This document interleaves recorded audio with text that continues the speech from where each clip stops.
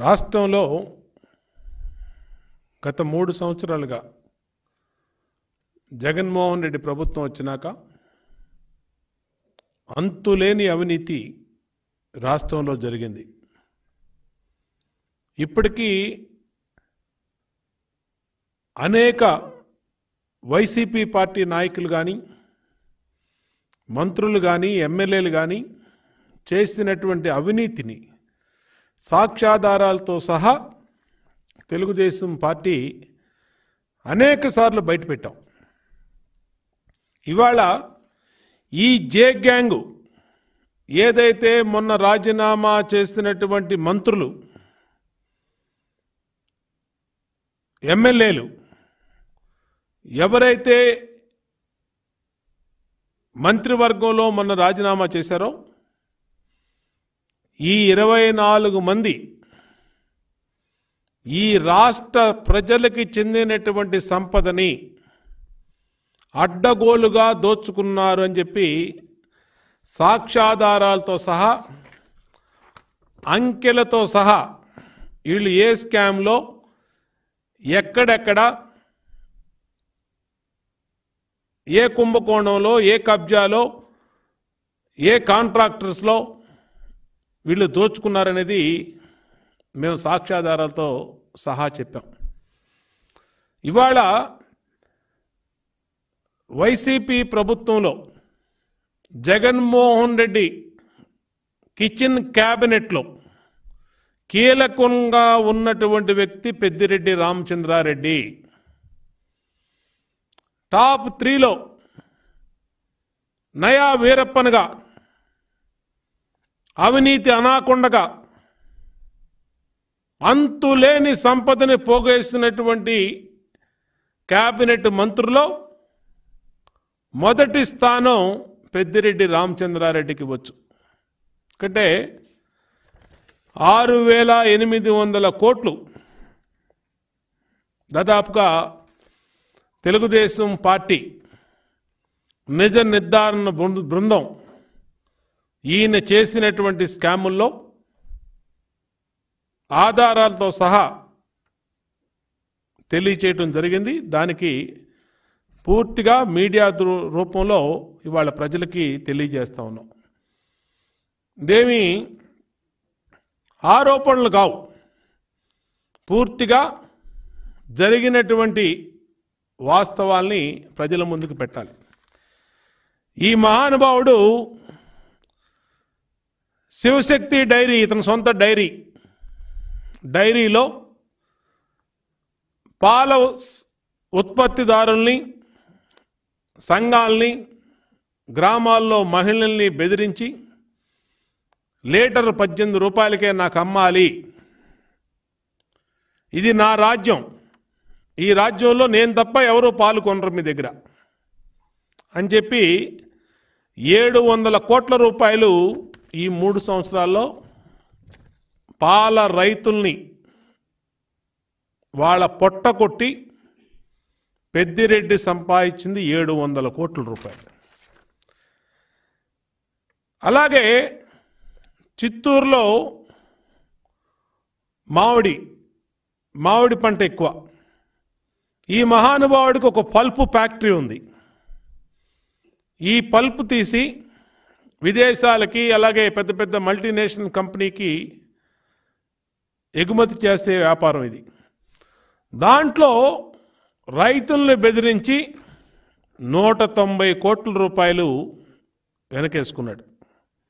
నూట తొంభై కోట్ల రూపాయలు. రైతు నోటు కొట్టాడు. మొదటమో శివశక్తి డైరీని పెట్టి పాడి పాల ఉత్పత్తి చేసే మహిళల పొట్ట కొట్టాడు. అలాగే భూమాఫియాలు అయితే చిత్తూరు తంబళ్ళపల్లి మదనపల్లిలో కబ్జాలు పర్వంలో ఎనిమిది వందల కోట్ల రూపాయల భూమిని జగన్మోహన్ రెడ్డి పేరు చెప్పి ప్రభుత్వం ప్రభుత్వాన్ని అడ్డం పెట్టుకొని దౌర్జన్యంగా ఎనిమిది వందల పది కోట్ల రూపాయల భూమిని ఎనిమిది వందల ఎకరాలు పైగా భూమిని ఈయన ఈయన కుటుంబ సభ్యులు ఈయన అనుచరులు ఈయన ఆధ్వర్యంలో బినామీ పేర్లతో కబ్జాకి గురైనవి తిరుపతి హతిరాంజీ మఠం చాలా ప్రసిద్ధిగాంచినటువంటి మఠం ఇది. అరవై కోట్ల రూపాయల భూమిని భవన నిర్మాణం కోసం అరవై కోట్ల రూపాయల భూమిని హతిరాంజీ మఠం భూమిని కబ్జా చేసినటువంటి గనుడు. చిత్తూరు జిల్లా కల్లూరులోని డీకేటీ భూముల కబ్జా ప్రభుత్వం పేదవాళ్ళకి డీకేటీ భూములు ఇస్తే ఆ డీకేటీ భూములని బినామీ పేర్లతో ఆక్రమించుకొని పట్టాలు సృష్టించి ట్వంటీ టూ ఏలో ఉన్నాయి తీపిచ్చుకొని ఎనిమిది వందల డెబ్బై కోట్ల రూపాయల స్కాము ఆ జిల్లాలో జరిగిందనంటే ప్రజలు జిల్లాలో వాసులు నివ్వెరిపోతూ ఉన్నారు. అంతులేని అవినీతి జరిగింది. అంతేకాదు తంబళ్ళపల్లిలో బినామీ పేర్లతో మూడు వందల ఎకరాలు. పేదవాళ్ళకి సెంటు భూమి అని చెప్పి ఇళ్ళ పట్టాలు సెంటు స్థలాలు అని చెప్పి ఎనభై ఐదు కోట్ల రూపాయలు దాంట్లో కొట్టేశారు. అంటే ఇవాళ ఈయన గారికి అక్కడ ఉన్నటువంటి ఇంకొక మంత్రి ఉన్నాడు నారాయణ స్వామి. అతన్ని డమ్మీ చేసేసి ఇతను సామాజిక వర్గానికి ముఖ్యమంత్రి సామాజిక వర్గానికి చెందినటువంటి ఈ పెద్దిరెడ్డి పెద్దారెడ్డిగా మారి మొత్తం కూడా చిత్తూరు జిల్లాలో రాయలసీమలో అటు తమ్ముడు ఎమ్మెల్యే ఇటు కొడుకు ఎంపీ ఇంకోని పెట్టుకొని అనుచరులు పెట్టుకొని అధికారుల్ని బెదిరించి ఇతను చేస్తున్నటువంటి అరాచకాలు అంతా ఇంత కావు. ముఖ్యమంత్రికి ఉన్నటువంటి మొన్న రాజీనామా చేసినటువంటి మంత్రుల్లో జే గ్యాంగ్లో కీలకమైనటువంటి వ్యక్తి పెద్దిరెడ్డి రామచంద్రారెడ్డి. ఇవాళ వైసీపీ ప్రభుత్వం ఈ మూడు సంవత్సరాల్లో చేసిన లక్షల కోట్ల అవినీతి డబ్బంతా కూడా ప్రధానంగా ఆ డబ్బు మేనేజ్ చేస్తుంది. ఇతని ఆధ్వర్యంలోనే జరుగుతూ ఉంది. ఇది వాస్తవమా కాదా? ప్రభుత్వం మాట్లాడాలి. ఇవాళ ఇన్ని మాఫియాలు చెప్పాను నేను. డైరీలో కొట్టేశారు భూముల్లో కొట్టేశారు మ్యాంగో రైతుల దగ్గర మామిడికాయను తక్కువ కొని ఫలుపుల్లో కొట్టేశారు.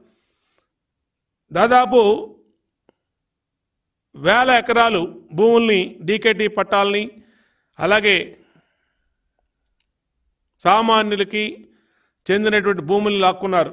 అంతేకాకుండా తంబళ్ళపల్లిలో నూట ముప్పై కోట్ల రూపాయలు చిత్తూరులో డెబ్బై కోట్ల రూపాయలు పీలేరులో అరవై రెండు కోట్ల రూపాయల పైబడి ఇసుకని ఇసుక మాఫియాగా ఏర్పడి అటు పక్క రాష్ట్రం పర్- కర్ణాటకకి ఇటు తమిళనాడుకి ఈ ఇసుక మాఫియా ద్వారా ఇష్టారీతిన ఇసుక మాఫియా చేసి రెండు వందల అరవై రెండు కోట్ల రూపాయల ఇసుక మాఫియా ఇతనొక్కడి వల్లే జరిగింది అని అంటే ఇంకా రాష్ట్రంలో ఎమ్మెల్యేలు చోటా మోటా నాయకులు ఈ జే గ్యాంగు పేటీఎం బ్యాచీగాళ్ళు వీళ్ళందరూ ఎన్ని కోట్ల రూపాయలు ప్రజాధనం దోచేశారో అర్థమవుతా ఉంది.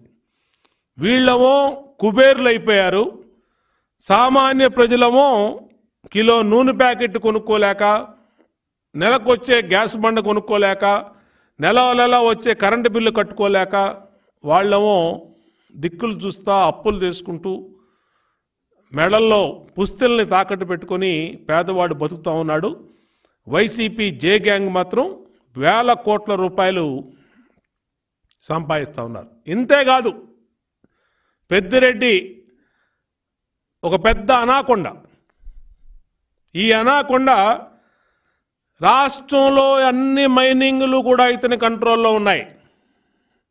పీలేరులో రెండు వందల ముప్పై ఎకరాలు మైనింగ్ మదనపల్లిలో డెబ్బై ఎకరాలు తంబళ్ళపల్లిలో నూట తొంభై రెండు ఎకరాలు. ఈ మైనింగ్ మాఫియా ద్వారా మైనింగ్ చేయటం వల్ల ఏడు వందల కోట్ల రూపాయలు ఈ మైనింగ్లోనే కొట్టేశాడు. ఒక్క చిత్తూరు జిల్లాలో. ఇంకా రాష్ట్రంలో తూర్పుగోదావరి జిల్లాలో మైనింగ్ కానీ విశాఖపట్నంలో మైనింగ్ కానీ అలాగే పల్నాడు ప్రాంతంలో మైనింగ్ కానీ కడప ప్రాంతంలో మై- ఇంకా ఆ లెక్కలన్నీ కూడా సపరేట్గా వేరే విధంగా ఉన్నాయి. ఒక్క చిత్తూరు జిల్లాలో మైనింగ్లో ఏడు వందల కోట్ల రూపాయలు ఈ మూడు సంవత్సరాల్లో కొట్టేశారంటే ఇంకా రాష్ట్రంలో ఏ విధంగా ఉందో ప్రజలకి విజ్ఞతకే ఆలోచించమని కోరుతా ఉన్నా. అంతేకాదు జే బ్రాండ్స్ మద్యం.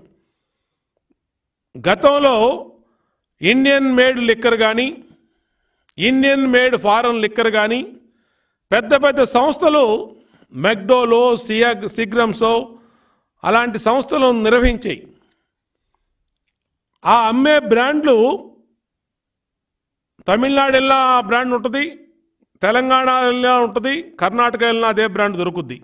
కానీ ఇవాళ రాష్ట్రంలో అమ్ముతున్నటువంటి కల్తీ జే బ్రాండ్స్ మద్యం ఒక్క ఆంధ్రప్రదేశ్లో తప్పితే ఎక్కడా దొరకదు.